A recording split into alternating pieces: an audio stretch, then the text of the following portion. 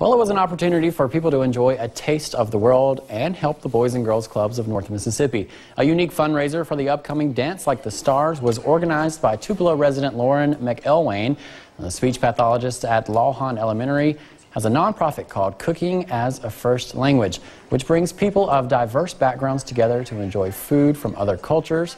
From, cook, from cooking classes, she organized an event this weekend called Taste of the World for Boys and Girls. Guests enjoyed a four-course meal featuring food from countries such as Cuba, Italy, Thailand, Mexico, and two Caribbean nations. McElwain says the fundraiser helps the Boys and Girls Clubs and also highlights the diversity in the area.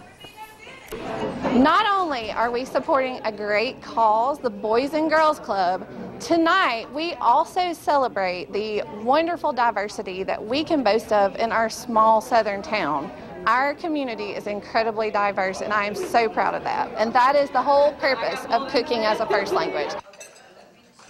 Dance Like the Stars takes place August 24th at the Bancorp South Arena in Tupelo. WCBI's own Allie Martin, who is a former dancer, will help co-host the fundraiser that evening.